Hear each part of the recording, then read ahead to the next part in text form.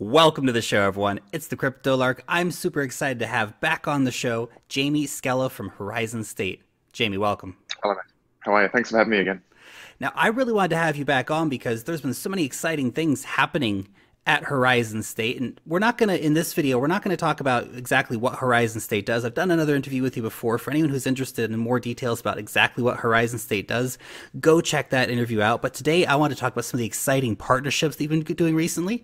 So I think a mm-hmm, great mm-hmm. place for us to start, you have signed a recent partnership deal with Nahdlatul Ulama. We're going to say NU because it's a lot easier to say. This is the world's yeah. largest socio-religious group with 96 million members in Indonesia. What does this partnership mean for you? What are you doing? Give us some details. Um, so look, this uh, this opportunity was actually uh, born out of some conversations that uh, were kicked off with uh, with Oren Oren Al and I'm sure we'll dive into uh, what his appointment means for us shortly as well. Um, but it's it's it's looking like it could quite literally be the biggest commercial opportunity so far uh, in crypto generally, which is which is a tremendous achievement for us. But effectively, what it means is is kind of like we're one step one step closer to, to I guess what we would describe as as mass adoption, which I know is a, a sort of a popular term um, within the community because we will quite literally have tens of millions of people utilizing our technology um, for the purposes of um, opinion solicitation and voting and, and, polling on policy matters um, around the country. Um, there's actually two opportunities in, Indonesia right now which we have uh, signed on for. One of them uh, is in respect to a, provincial pilot, uh, and the other one is in regards to the NU, which is um, arguably a, a, much bigger opportunity. Now, when we're talking about these very specific uh, communities, I suppose um, you might relate them to suburbs or councils or, or perhaps uh, states based on the, the, the, sheer volume of people in these places. But the NU is um, a particularly important deal for us, and it's a perfect example of the kinds of uh, um, the kinds of, I guess, use cases and applications of this technology, which don't necessarily relate to something um, specifically political in nature, right? So this is this is very much about community engagement, community empowerment, mm-hmm. um, and uh, we're we're really excited to get that rolled out. Um, by the end of the year, uh, we're ambitiously, quite literally, looking um, to have tens of millions of, of the NU member base uh, over there utilizing um, our platform to uh, be collaboratively uh, making decisions on on the uh, the sort of policy matters that affect them and their organization and and their communities. That's amazing. This is such a big partnership, and I feel like it's it's kind of gone under the radar to an extent. I know a lot of people were talking about Verge and what they did with their partnership, but this is like way bigger and cooler because this is you know actually empowering people to make their own decisions. This isn't just you know I can pay for something somewhere using crypto. This is actually we're going to be empowering communities to help make better decisions and be you know more part of their community via cryptocurrency yeah. and blockchain technology, which is super cool, which is super cool. Now, why, I guess, you know, obviously Indonesia is a place where internet is becoming much bigger and technology is, you know, they've got one of the world's largest um, internet user bases, but what really made a good fit for Horizon State and the NU?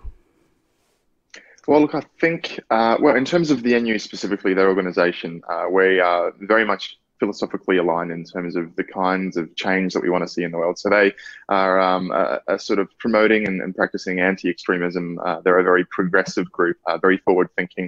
Uh, they do a lot of great socio-economic work in the region as well in terms of the building of hospitals and schools. And uh, so they're, they're, doing really great work. Um, you know, and when we talk about the term Islam, unfortunately, in a lot of places around the world, there are immediate negative connotations. Um, but this group is very specifically uh, practicing peace uh, and trying to work towards a, a, future of prosperity for, for everybody. So, you know, in terms of organizational alignment, it's strong. Uh, in terms of the market opportunity, um, I, I, think it's um, it's quite a privilege to be able to roll something out which can have a, a genuine uh, uh, impact on people's lives, a positive impact, given the fact that um, much of the, the country is unfortunately still underprivileged, especially compared to other nations which have uh, which have already developed. Um, and then we think about the uh, technological opportunity, and of course, um, Indonesia actually has uh, a, vast uh, smartphone penetration, um, as does many countries around Southeast Asia now, especially compared to other developing nations uh, in regards to overall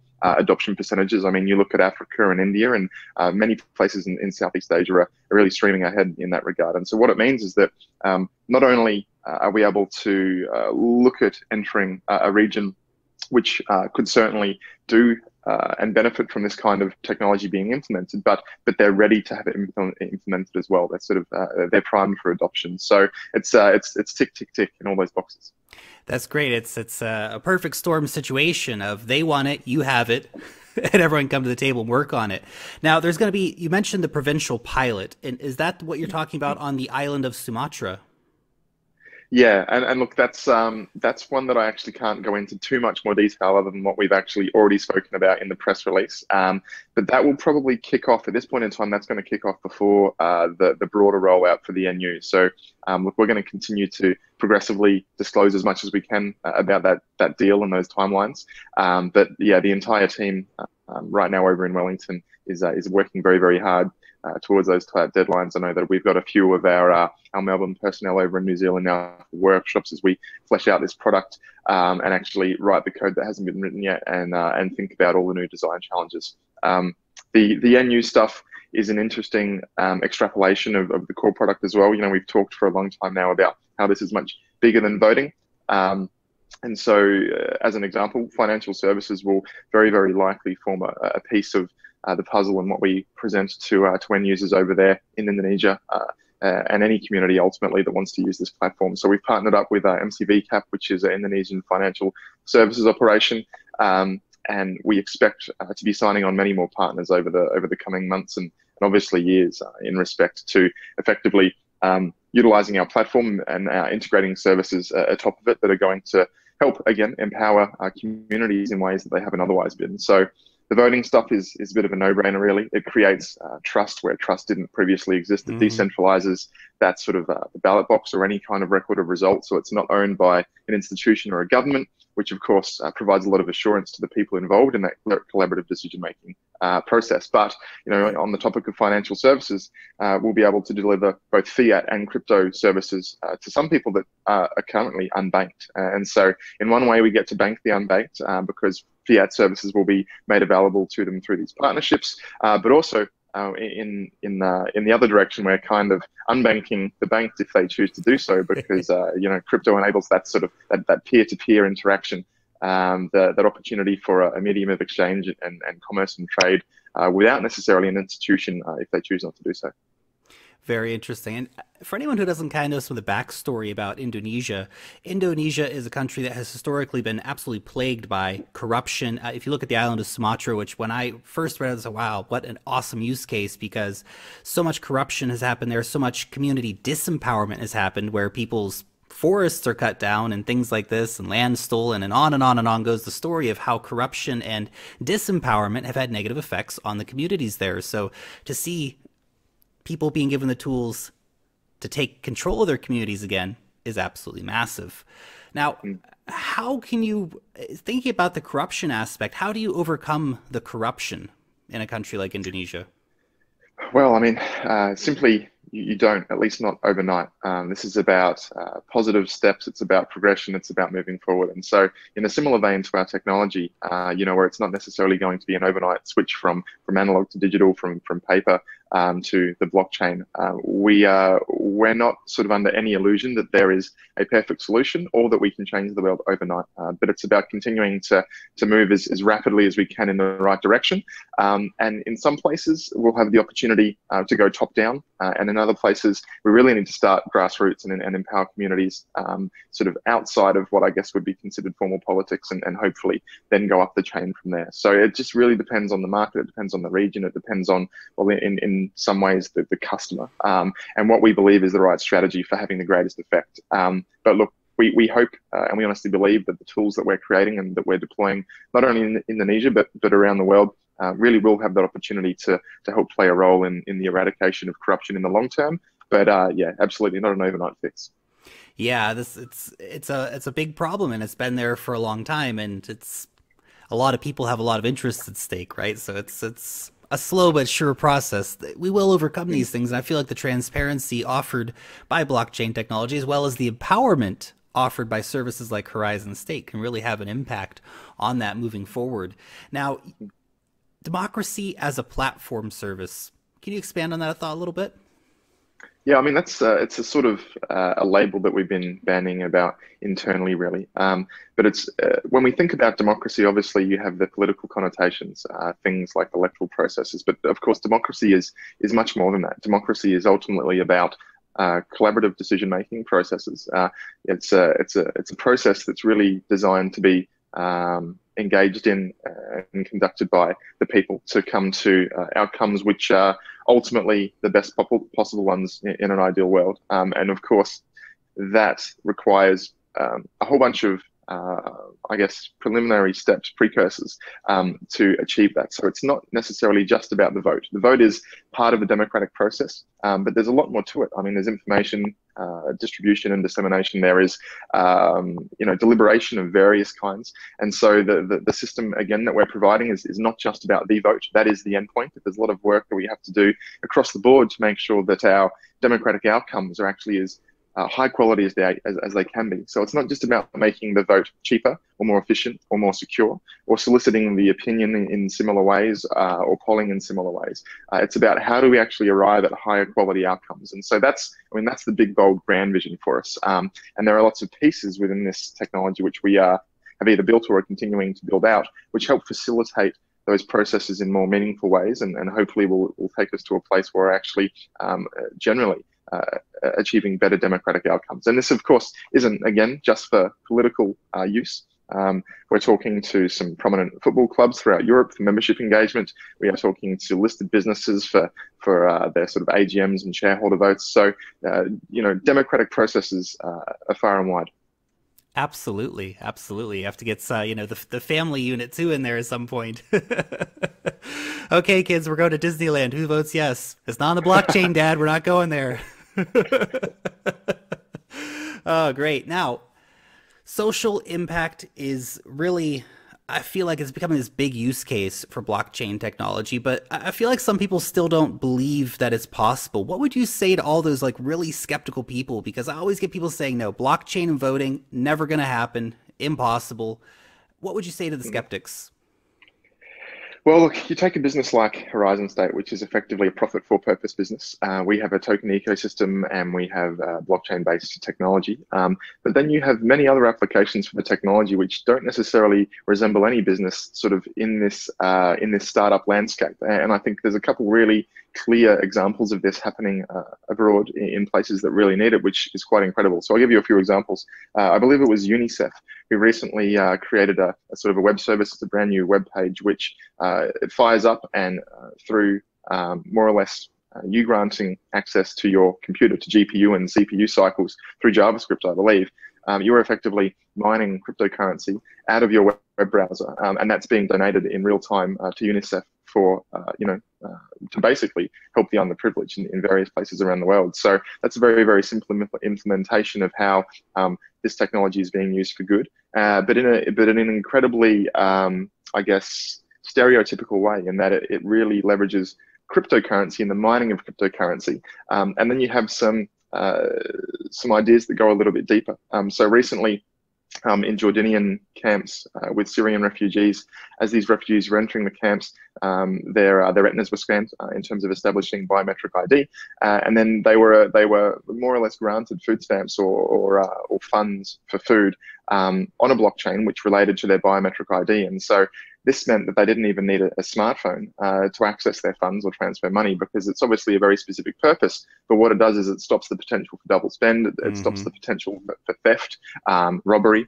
Um, and so you would walk into one of these stalls uh, at a at a Jordanian camp, and they would scan your retina, and uh, they would deduct, um, you know, the value of, of the food that you've taken away. So uh, again, um, that is a perfect example of how the blockchain technology itself, while there is still a currency spin to it, it really has nothing to do uh, with with ICOs or the, the blockchain startup world as many people see it uh, in the press and of mm-hmm. course uh, all over the internet right now if you're paying attention to this scene.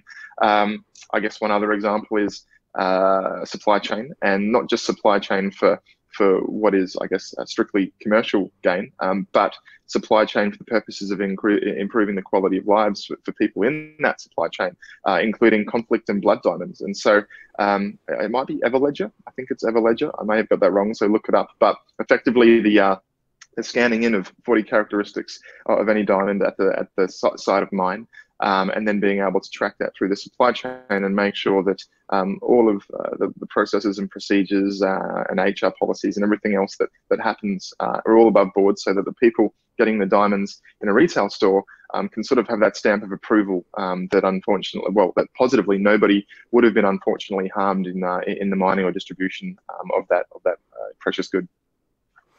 Nice. So essentially, you know, the skeptics are always going to be there saying, ah, you can't do that on the sideline. But actually, these things are happening right now. These use cases are here. They're Correct. happening. They're moving forward. So, you know, to all the Look, naysayers, those things, it happens. Exactly. So, so, so there is lots of uh, even more fascinating stuff that hasn't happened yet. But those are examples that have already happened, and, and they've they've been going on since last year, in fact. Um, uh, so it's it's it's happening at an increasing rate, and all you have to really do is look around and do any kind of research to appreciate the, the social impact that it's already having. This this technology, uh, sure, it's emerging technology, but it's real, it's tangible, it's being utilized right now.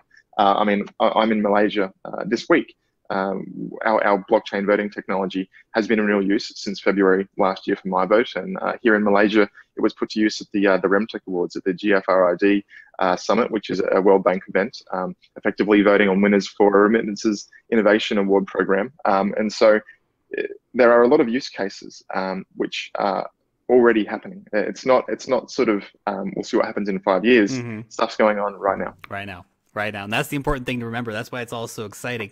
You kind of beat me to my next question, which was going to be about MyVote. So that that's kind of what you guys are doing with MyVote is, you know, helping them provide services just like that in Malaysia. So this uh, this event in Malaysia was really a, a direct partnership between um, RemTech, the uh, RemTech Awards, um, and uh, Horizon State. But the system that we delivered for use here was very, very similar to the system that is currently in use by MyVote, in that it isn't necessarily um, that broader uh, democracy as a platform uh, offering. It is something much more specific to information delivery uh, encouraging appropriate consumption, and then soliciting that vote. Um, now, MyVote's having some tremendous success around the world as well. I, I obviously uh, I don't want to make the mistake of uh, pre-announcing anything for MyVote because I've made that mistake before, but I do believe they are uh, they're publicly talking about um, some opportunities. Um, in Iowa and the Northern Territory of Australia. Um, people would have heard about uh, Scotland. People would have um, heard about numerous other places within uh, the European region as well. So um, they're making uh, very much an international push now to try and propagate um, their model for democratic reform, which really encourages a kind of um, a direct democracy within a representative democracy where people are given better information to become informed and, and become an informed citizen and, and make informed decisions, and then having the right people in place to actually honour uh, the decisions of that informed majority uh, rather than having politicians play fame games and uh, really work mm. towards being career politicians and setting their own agenda. So trying to instill a, a truer democracy within our existing ones. Criticism is all that, yes, but when we have a direct democracy, Brexit happens. Um, now, I'm sure there are people that still believe that Brexit uh, was the right uh, sort of course of action uh, for the United Kingdom, but um, I think the large majority uh, and, an increasingly large majority believe that it seems to have been a mistake, and a lot of people unfortunately voted against themselves. But this isn't because people are, um, you know, intrinsically silly. This is uh, ultimately because of misinformation, party spin, mm things like Cambridge Analytica. Um, so when you're when you're given shitty inputs, usually you get shit outputs. Uh, and so a big a big part of MyVote's mission is to uh, actually improve that. Uh, and again, that philosophy of sort of um, improving the quality of our democratic outcomes, not just the efficiency or the security or uh, the, the price of that outcome. Um, so uh, for, for those who aren't familiar with how it all works, there they've effectively got an internationally distributed team of researchers and analysts and PhDs who collaborate on information packs that relate to the issue at hand. Um, and it's, it's about having a, a frequent conversation um, and making sure that those information packs are as objective and as unbiased as they possibly can be because you've got people from the left of politics and people from the right and you know you've got uh, citizens of various countries within Europe and citizens of Australia and if they can come to sort of um, uh, basically a bit of a, a, a, nod that this is this is good to go, then I think you probably arrived at a, at a pretty decent place. If all those varying uh, you know positions uh, and opinions can can come together and say this is this is the most accurate sort of worldview on this issue, uh, and this is this is the information that we believe people should be using to make better decisions. So look, it's not perfect because whenever you interpret information as a human being, there is some bias applied. But as per you know uh, the earlier part of our conversation, this isn't about perfect solutions. This is about better solutions. We just got to keep trying uh, to take uh, positive steps in the right direction. Nice. Now, I want to go on to some Horizon State uh, news that's happened kind of recently. It's very exciting. It's, you know, not about partnerships and stuff, but actually you've joined the Enterprise Ethereum Alliance. What do you get from that? How, how are you looking to benefit from that? And how are you looking to add to the Enterprise Ethereum Alliance ecosystem? So uh, the EEA has some working groups which we are looking at uh, becoming a part of, and in fact, uh, leading one or two of in respect to uh, governance uh, and the democratic uh, use cases for this technology. Um, and of course, for us, um, you know, with with numerous um, potential revenue streams, both in politics and in enterprise, uh, and within uh, you know NGO. What the opportunity for us is um, to help collaborate on the technologies which might be of best use uh, in certain customer opportunities, while fostering relationships with some enormous brands uh, who we might have the opportunity to uh, to work with in an even more close manner into the future. So I'm sure people have seen the caliber of, uh, of organizations that are already a member of the EEA. So it's it's it's a it's a it's an honor for us uh, to join that company. Uh, it's it's a pretty impressive list um, with some of the world's biggest you know tech giants already on there. Um, but it's also worth no noting that we are uh, we are blockchain agnostic in the sense that um, Ethereum is is a is a clear option and it has some significant pros, but right now it also has a few cons uh, in regards to scaling. Um, but we don't necessarily need to use um, Ethereum for the process, for example, of casting a vote to the blockchain. Um, and so we appraise the technologies that are used on a case by case basis. Maybe here in Malaysia, Ethereum made sense for the RemTech awards at GFRID, um, but in other use cases, um, it might not. Uh, and it mm. might in fact be a distant second or maybe even a third or a fourth, fourth place option for, for that uh, activity activities. So um, we are in a relatively luxurious spot in that position um, because we aren't completely wedded to one blockchain and thus we aren't hindered by the pace at which it moves. Interesting. Final bit of news I want to touch on. You've got a new CEO, Oren Alazraki. Mm. What's he bringing to the table? So um, I'm a startup guy, and uh, you know I've, I've built um, digital products and services and um, and startup businesses uh, numerous times over my sort of 20 year stint in, uh, in technology and experience design. Um, what I haven't had any experience with yet really is running large organizations at scale for the caliber of customers which we are very quickly attracting. You know, you're talking about um, slow moving governments, you're talking about enormous uh, and bureaucratic uh, enterprise uh, and other international institutions.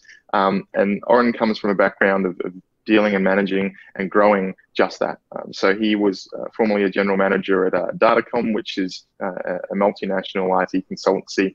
Uh, you know, they've got thousands and thousands and thousands of staff, and uh, they, uh, they, they turn over about 1.5 billion dollars a year, and so they're they're a big company. and he he was an integral part of that um, before formally throwing in the towel and, and moving across to Horizon State. So we're all pretty excited to to have somebody of his his caliber you know, really helping us get to that scale um, and manage things well at that scale. Awesome. Very it, it just says everything about professionalism. You know, it's great to have someone like that on board that's has run a giant company before because I feel like Horizon State's moving in that direction where it's going to also be a giant company with these partnerships that you're getting, of course. And I know there's going to be a lot more of exciting things coming out in the near future. So I'm, I'm probably going to have to have you on in a couple of months again to talk about your next exciting partnerships. But we'll uh, we'll get to that when we get to it. Awesome, Jamie. Yeah. I want to thank you for sitting down to talk with us today. It's been really interesting to get the perspective on what's happening with your partnerships in Indonesia and what the developments at Horizon State have been. Pleasure. Good to chat again. Thanks, mate for sure.